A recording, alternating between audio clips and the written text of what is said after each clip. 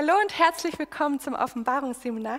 So schön, dass ihr heute da seid und auch ein herzliches Willkommen an alle, die jetzt live zugeschaltet sind.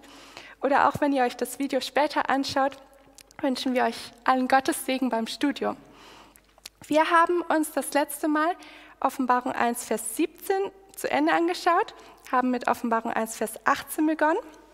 Heute wollen wir das auch beenden und weil alle menschliche Rede nicht viel wert ist und so eingeschränkt an Weisheit, wollen wir jetzt beten und Gott um Weisheit bitten.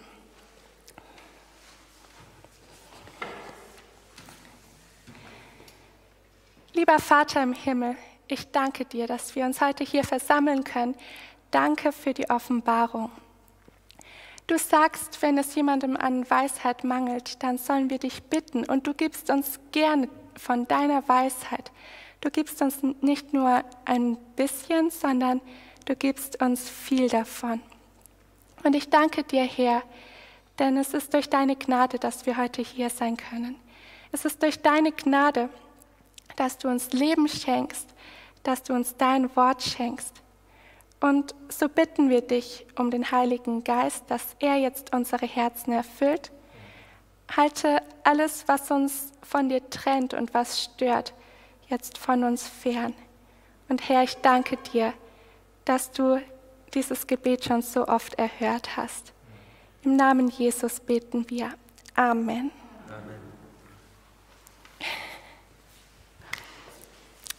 Lasst uns damit beginnen, dass wir gleich den, erst, den Vers, um den es geht, lesen, und zwar in Offenbarung 1, Vers 18. Ihr dürft gerne lesen. Und er lebte, und ich war tot. Und siehe, ich lebe von Ewigkeit zu Ewigkeit. Amen. Und ich habe die Schlüssel des Totenreiches und des Todes. Dankeschön.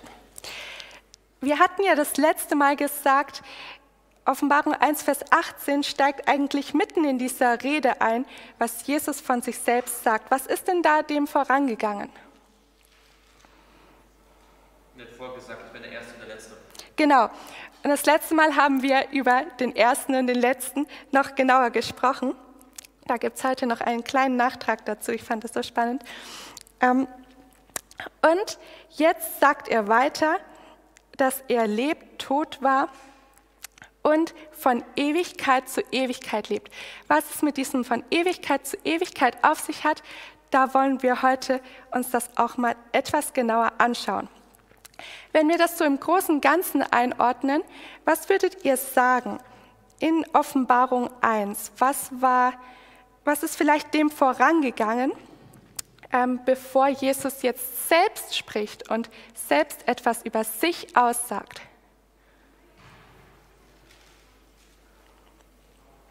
Was hatten wir so davor?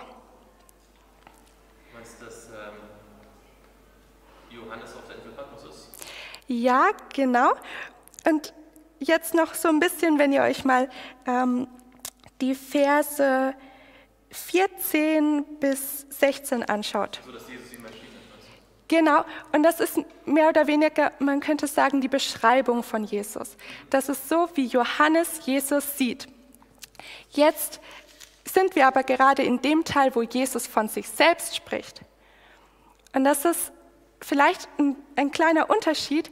Menschen können Jesus wahrnehmen, aber wichtig ist auch, was sagt Jesus über sich selbst.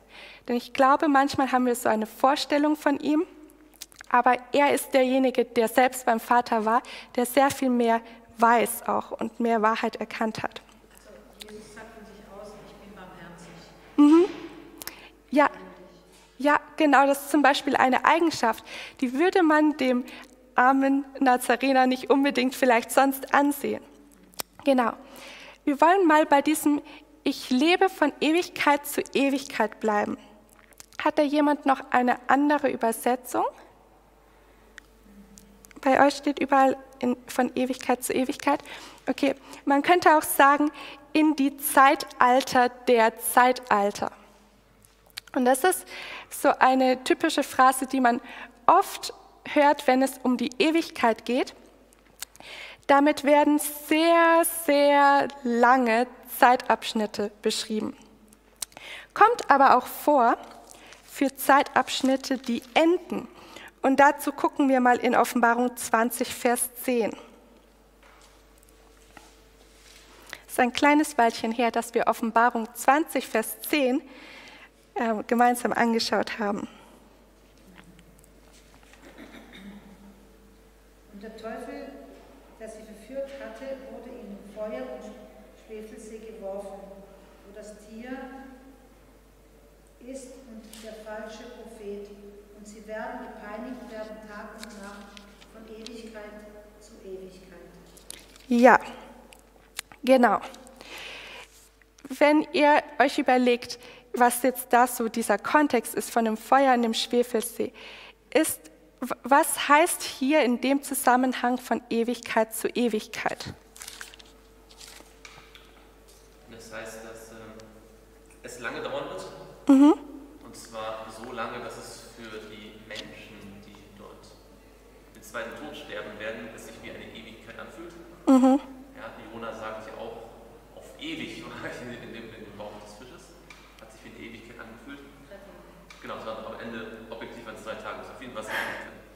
Und ähm, genau, das ist sozusagen die Idee. Es dauert lange und es fühlt sich wie eine Ewigkeit an. Aber wir wissen aus mhm. anderen Textstellen, dass es zu Ende kommt. Ja, danke schön. Also die Essenz von dem, was gerade gesagt worden ist, ist, manchmal fühlt es sich auch an wie eine Ewigkeit und für diese Menschen, von denen hier die Rede ist, fühlt es sich auch so an. Letztendlich ist es aber so, dass es doch zu Ende kommen wird.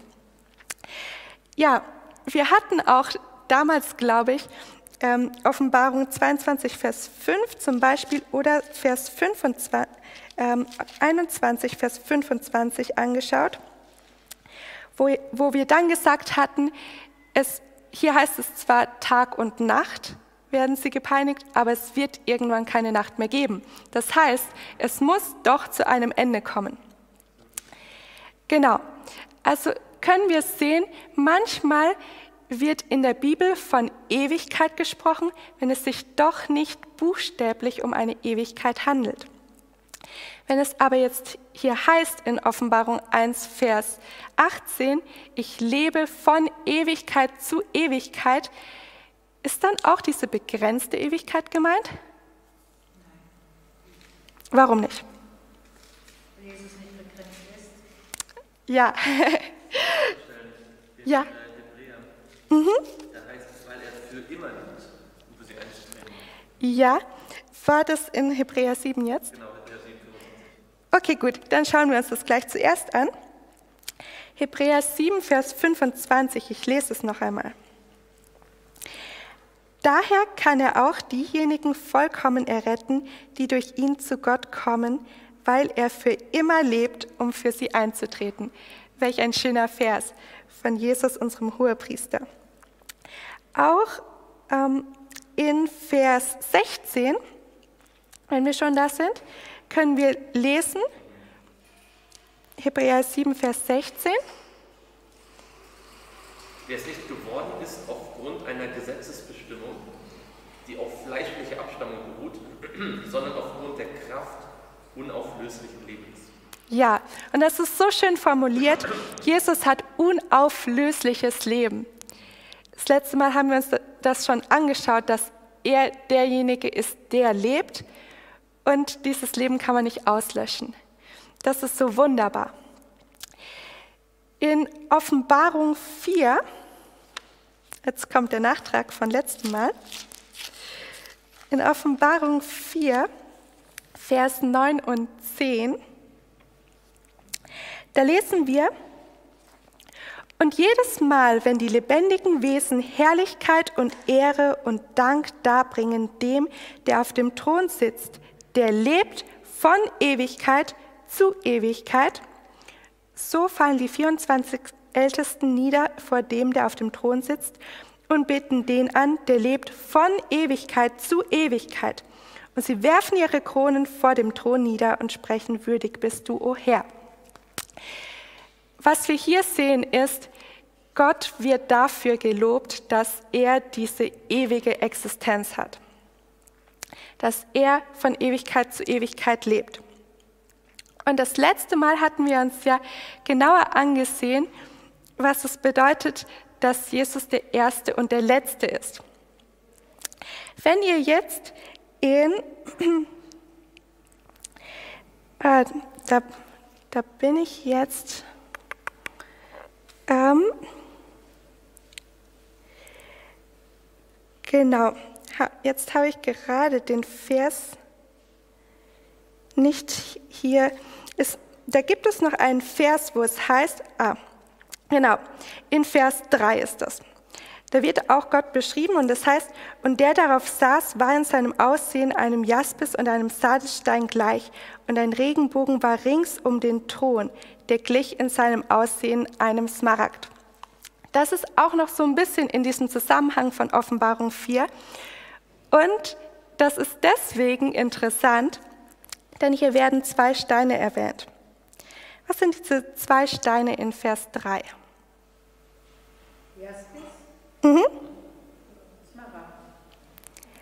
Ja, und Sardis, genau. Und wenn wir, also klar, hier heißt es auch, ähm, der Regenbogen gleicht einem Smaragd, aber das Aussehen gleicht einem Jaspis und einem Sardis. Einmal habe ich mir das angeschaut, deswegen ich muss das jetzt einfach mit euch teilen. Ähm, in 2. Mose 28 werden auch diese beiden Steine erwähnt. Und zwar habt ihr eine Ahnung, worum es in 2. Mose 28 gehen könnte. Ja, ja, ja, ja, genau. 2. Mose 28 beschreibt unter anderem die Kleidung des Hohepriesters. Und hier kommt es in Vers, ab Vers 8, 17 auf diese Steine zu sprechen. Ihr könnt mal lesen, ähm, 2. Mose 28, Vers 17 bis 20. Und du sollst es mit eingefassten Steinen besetzen, vier Reihen von Steinen. Eine Reihe sei ein Rubin, ein Topas und ein Smaragd, die erste Reihe. Die zweite Reihe ein Granat, ein Saphir und ein Diamant. Die dritte Reihe ein Opal, ein Achat, ein Amethyst. Die vierte Reihe ein Chrysolit, ein Onyx, ein Jaspis. In Gold sollen sie gefasst sein für ihre Einsetzung. Okay, jetzt muss ich euch das kurz aufzeichnen. Wie kann man sich denn so ein Brustschild vorstellen? Ungefähr so ein bisschen so eckig. Und dann hatte man zwölf Steine, die waren vielleicht ungefähr so angeordnet.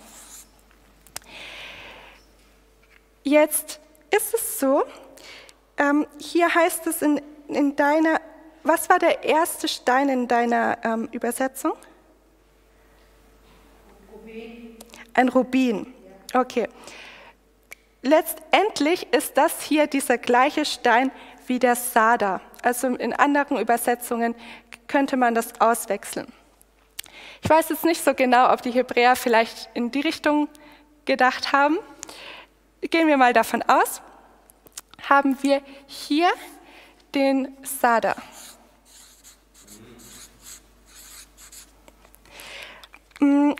Was, jetzt gehen die Reihen so durch. Was ist denn der letzte Stein? Nein, in der letzten Reihe der letzte Stein. Jaspis. Wo hatten wir Sada und Jaspis gerade eben?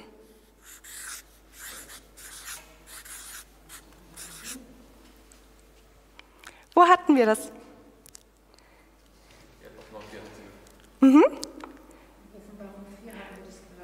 Sie. Ja, ja, genau. Und wofür werden Sada und Jaspis hier ähm, gebraucht? In Offenbarung 4, Vers 3. Und der darauf saß, war in seinem Aussehen ein Jaspis und ein Sardisstein gleich. Ja, Regenbogen war es mit dem Ja, kommt ihr darauf, worauf ich hinaus möchte? Also, wir hatten dieses Brustschild. Und wie gesagt, der Hebräer denkt wahrscheinlich in die andere Richtung als wir. Es fängt an mit einem Sada und es hört auf mit einem Jaspis. Die beiden Steine, die Gottes Aussehen sozusagen verbildlichen. Wenn ich, wenn ich damals Israelitin gewesen wäre und dieses Brustschild angeschaut hätte, dann hätte mich das wohl oder übel daran erinnern können, dass Gott der Erste und der Letzte ist.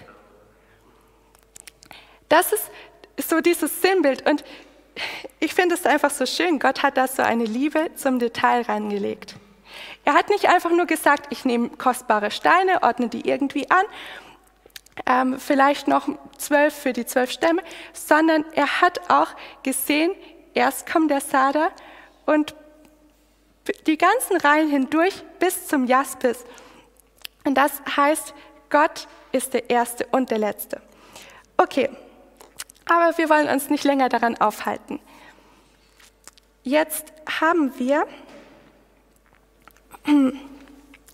noch einen Vers im Psalm 90, Vers 2, den wir uns anschauen möchten. Psalm 90, Vers 2.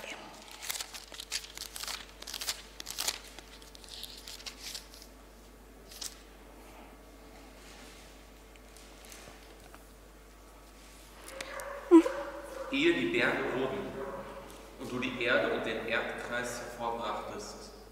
Ja, von Ewigkeit zu Ewigkeit bist du Gott. Ja, hier haben wir wieder diese äh, Parallele zwischen Jesus und Gott. Und am Anfang dachte ich mir, ah, muss man das immer so sehr betonen, aber man stellt doch fest, es gibt viele Menschen in der Welt, die heute immer noch meinen, Jesus sei nicht Gott. Aber das ist eindeutig die Eigenschaft Gottes, ja.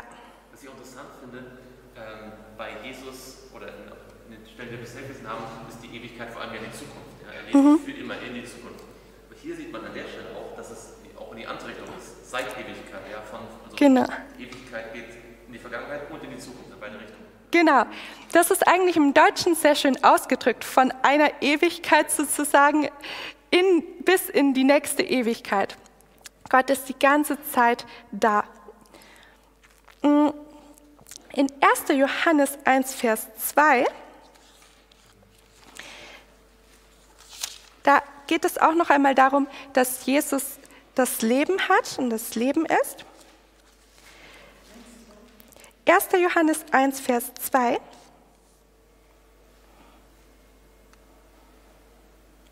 Dieses war Erst bist du in 1. Johannes, ja, 1. Johannes 1. Und da Vers 2, kein Problem.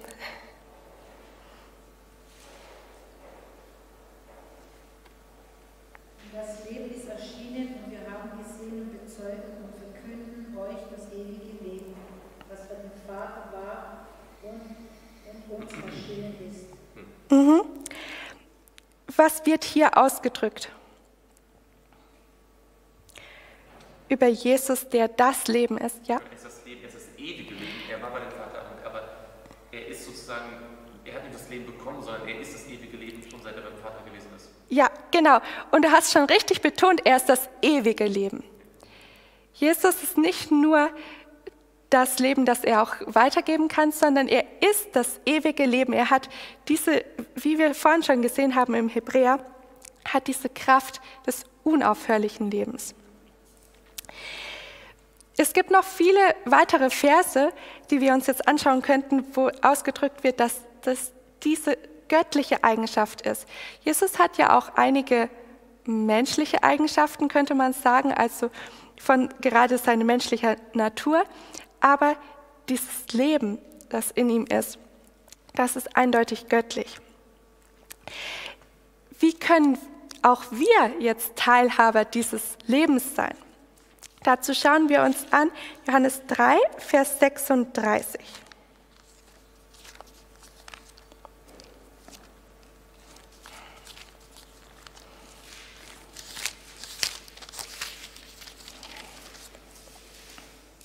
weil wir wollen ja nicht nur, dass Jesus irgendwie abseits von uns ist, sondern wir wollen mit ihm in Verbindung stehen. Und dazu Johannes 3, Vers 36, habe ich mir jetzt. Ah, doch, hier. Wer an den Sohn glaubt, der hat ewiges Leben. Wer aber dem Sohn nicht glaubt, der wird das Leben nicht sehen, sondern den Zorn Gottes bleibt auf ihm. Ja, was ist sozusagen die Bedingung, um auch von Jesu Leben etwas abzubekommen? An ihn zu glauben. Es ist doch so eine leichte Bedingung, oder nicht? Auch Johannes 5, Vers 24, zwei Seiten weiter, da heißt es, Wahrlich, wahrlich, ich sage euch, wer mein Wort hört und dem glaubt, der mich gesandt hat, der hat ewiges Leben und kommt nicht ins Gericht, sondern er ist vom Tod zum Leben hindurchgedrungen. Auch das, das ist das Leben, das, das Jesus uns schenkt. Noch 1. Petrus 3 bis, äh, 1, 3 bis 5.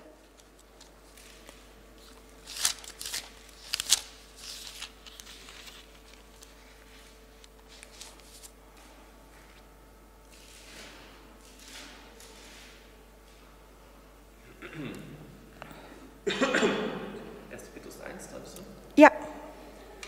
Sei der Gott und Vater unseres Herrn Jesus Christus, der uns aufgrund seiner großen Barmherzigkeit wiedergeboren hat, zu einer lebendigen Hoffnung durch die Auferstehung Jesu Christi aus den Toten, zu einem unvergänglichen und unbefleckten und unverweltlichen Erbe, das im Himmel aufbewahrt wird für uns, die wir in der Kraft Gottes bewahrt werden durch den Glauben zu dem Heil, das bereit ist, offenbart zu werden in der letzten Zeit.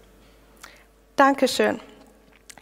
Also hier erfahren wir, dass Gott darauf wartet, seinen Kindern ein ewiges und unvergängliches Erbe, wie es hier heißt, zu geben, ähm, das aber am Ende der Zeit, dass sie erst dann bekommen.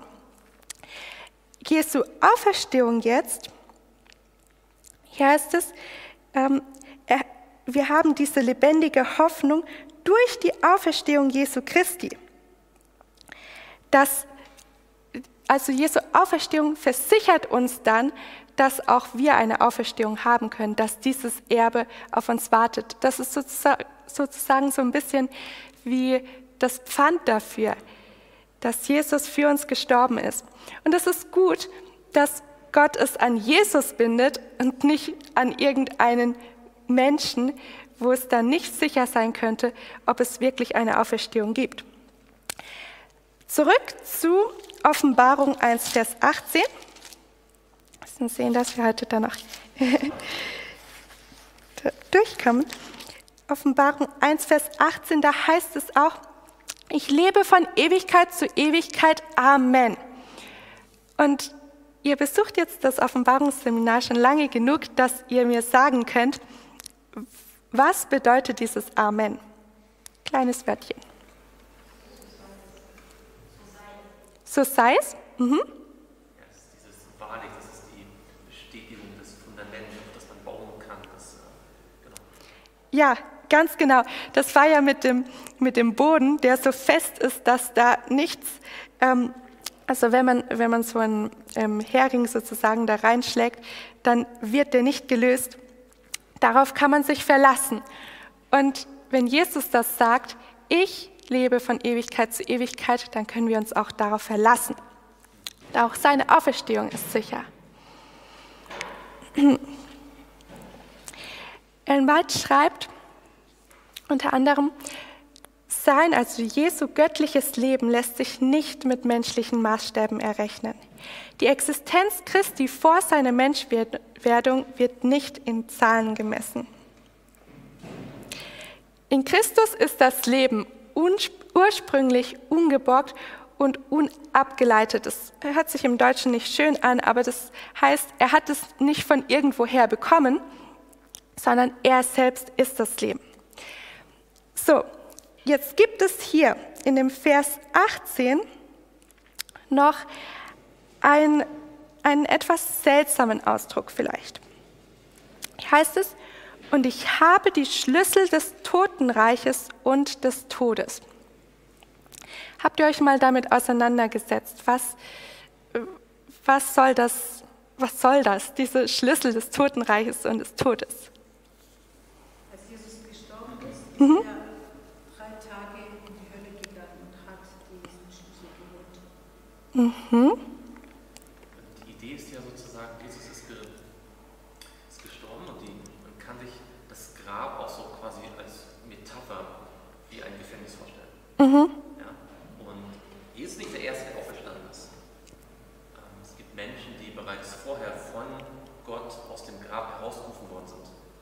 Jesus sagt nicht, ich bin auferstanden, weil Gott mich herausgeholt hat.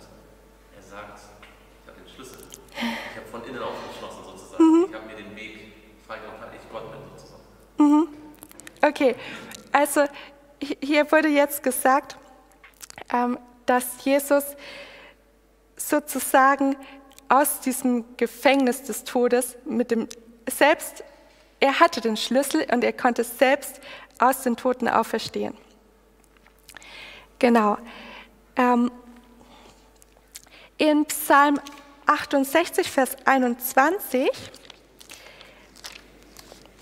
merken wir, Gott hatte schon immer den Schlüssel des Totenreiches. Psalm 68, Vers 20. Ähm, und Vers 21 muss es sein. Priesen sei der Herr, Tag für Tag trägt er unsere Last unser Heil. Gott ist für uns ein Gott der Rettung Gott der Herr hat Auswege aus dem Tod. Mhm. Da, wo für die Menschen die Lösungen aufhören, wo der Mensch unfähig ist, da hat Gott immer noch Auswege. Ist das nicht schön? Gott, es gibt dieses Kinderlied, Gott hat immer einen Weg und sogar über den Tod hinaus. Psalm 49, Vers 14 und 16.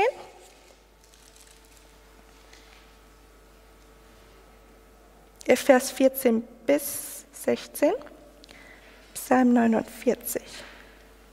Dies ist der Weg derer, ist es der? Ja. Dies ist der Weg derer, die so voll Torheit sind und das Ende aller, denen ihr Gerede so wohl gefällt. Sie liegen bei den Toten wie Schafe, der Tod weidet sie, aber die Frommen werden da bald über sie herrschen und ihr Trotz muss vergehen. Bei den Toten müssen sie bleiben. Mhm. Ja, soweit. Also hier sehen wir dieses Bild, dass es sozusagen ein bisschen so ein, man hatte die Vorstellung von einem eher toten Reich. Das ist das, was hier schon gesagt worden ist. Ähm, der Tod wurde nicht als Zustand allein gesehen, sondern man hatte so ein bisschen die Idee, es ist wie ein Reich der Toten, das abgeschirmt ist von dem Reich der Menschen. Ähm, Jesaja 38, Vers 10 bis 12 zieht hier aber einen Kontrast, wo es heißt, ich sprach, also Hiskia ist derjenige, der hier redet, ich sprach, in meinen besten Jahren muss ich zu den Toren des Totenreichs eingehen. Ich bin des Rests meiner Jahre beraubt. Ich sprach, ich werde den Herrn nicht mehr sehen, den Herrn im Land der Lebendigen. Bei den Abgeschiedenen werde ich keinen Menschen mehr blicken. Meine Wohnung wird abgebrochen und wie ein Hirtenzelt von mir weggeführt. Ich habe mein Leben ausgewoben wie ein Weber. Er wird mich vom Kettgarn abschneiden.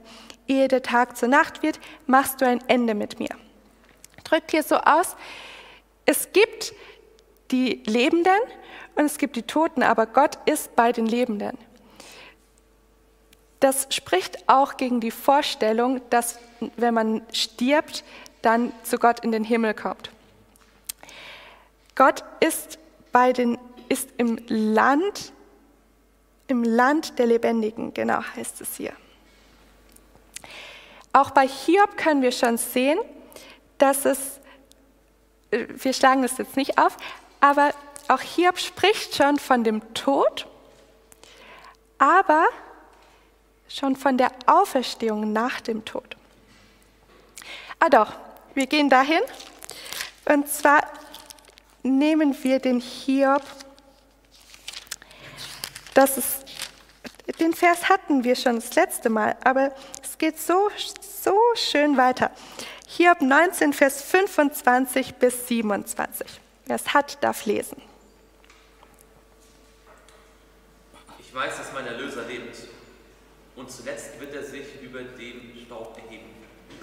Und nachdem diese meine Hülle zerbrochen ist, dann werde ich von meinem, oder eigentlich wörtlich aus meinem Fleisch heraus, Gott schauen.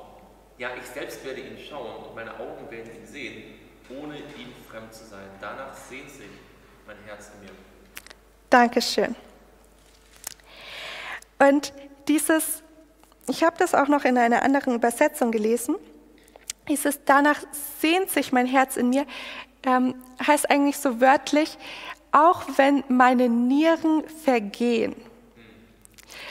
Und die Nieren, das ist ein Bild, das öfters in der Bibel vorkommt. Das heißt zum Beispiel in Jeremia, dass Gott Herzen und Nieren prüft. Ist so das Innerste vom Menschen. Und es ist eigentlich auch ein sehr drastisches Bild, weil wenn man, ähm, wenn man weiß, wenn man schon mal mit den Nieren zum Beispiel Probleme hatte, dann weiß man, das sind große, große Schmerzen, die man da ähm, auszuhalten hat. Und trotzdem sagt Hiob, auch wenn meine Nieren vergehen, so sehr sehne ich mich danach, Gott zu sehen. So als ob alles in mir zergehen würde. So gut, er, hat, er hatte ja auch ein schweres Leben, aber so sehr sehne ich mich danach, Gott von Angesicht zu Angesicht zu sehen. Und ich weiß, in einem Fleisch, das ist auch interessant, denn das spricht gegen diese Vorstellung, dass die Seele irgendwo hingeht und dann bei Gott ist. Das, das heißt hier bei der Auferstehung, ähm, Gott wird, wird den Menschen aus dem Staub erheben und dann ähm, wird man mit dem Fleisch sozusagen vor Gott stehen. So, im Psalm 9, Vers 14 und 15, damit wollen wir weiter fortfahren. Da wird jetzt noch einmal dieser Gegensatz, dieser Kontrast gebildet äh, zwischen dem Totenreich und noch etwas anderem was auch dann wieder letztendlich mit der großen Auferstehung zu tun hat. Psalm 9, Vers 14 und 15.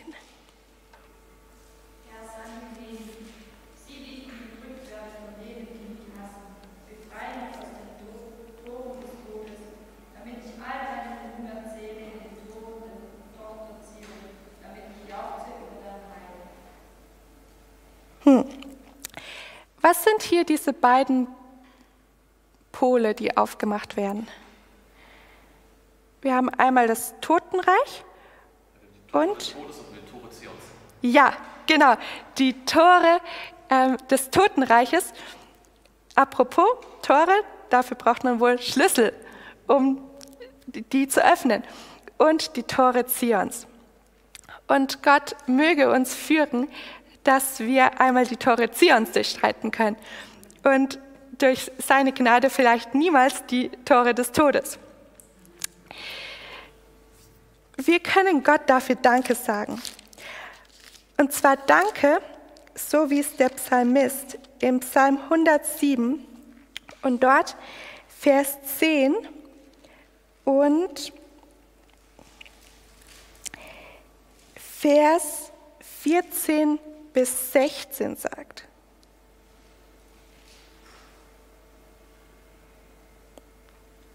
Ich lese mal.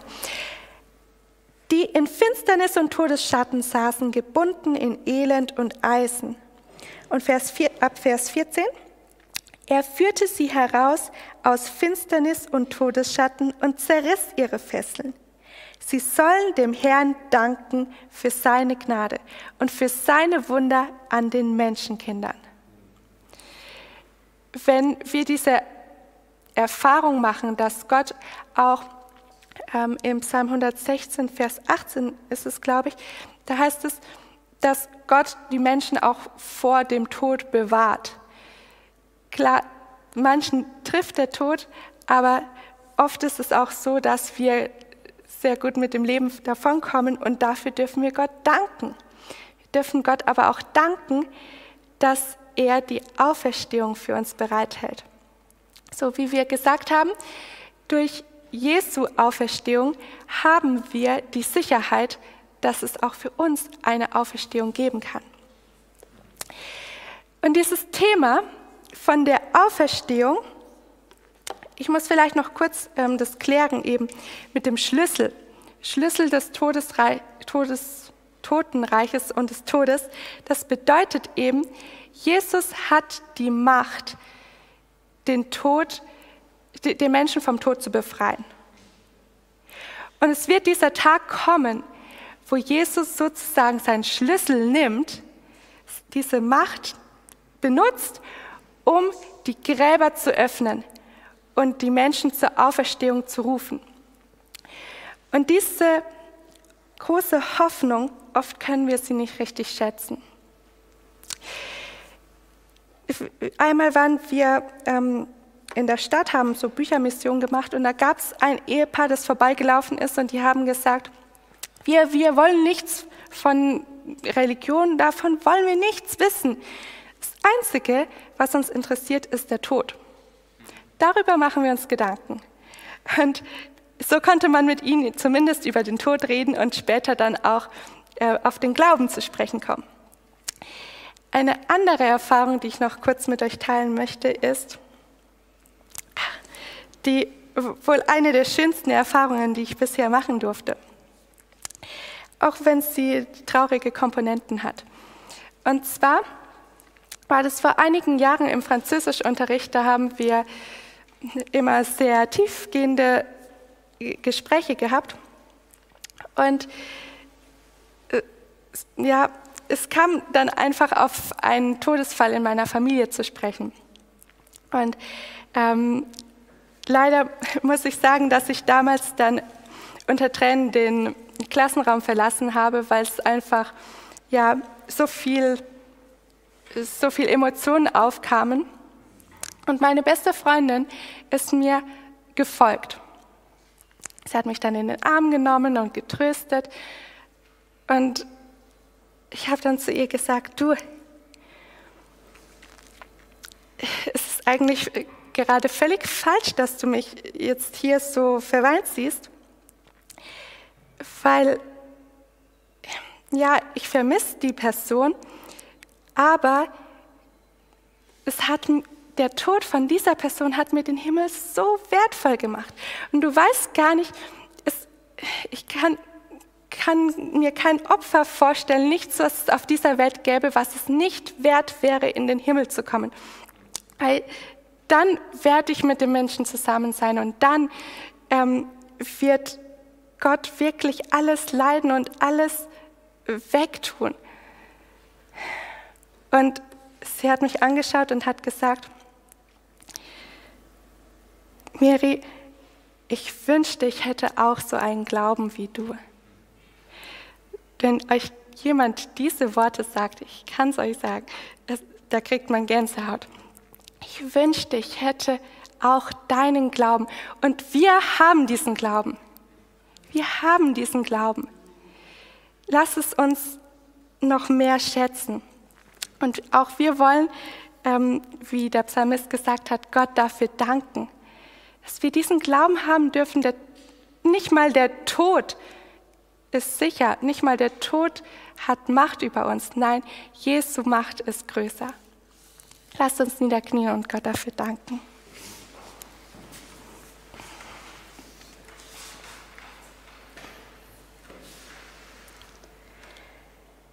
Lieber Vater im Himmel, ich danke dir.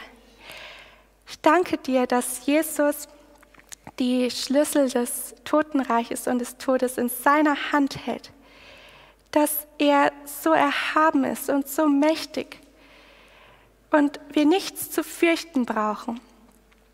Herr, wir wissen nicht, was im Leben noch auf uns zukommt, aber wir wissen, dass du sehr große, unvergängliche Güter für uns bereithältst. Wir wissen, Herr, dass du derjenige bist, der von Ewigkeit zu Ewigkeit lebt und auch Wir dürfen die Hoffnung haben, ewig bei dir zu sein. Vater, mach uns bereit dazu. Schenke uns noch stärkeren Glauben. Bitte schenke uns noch reinere Herzen und lass uns ein Leben haben, das von dir zeugt, das diese, diese Hoffnung zu anderen weiterträgt. Ich danke dir, dass du mit jedem von uns sein möchtest. Und danke für die Fülle an Segen, die du für uns bereithältst. Amen.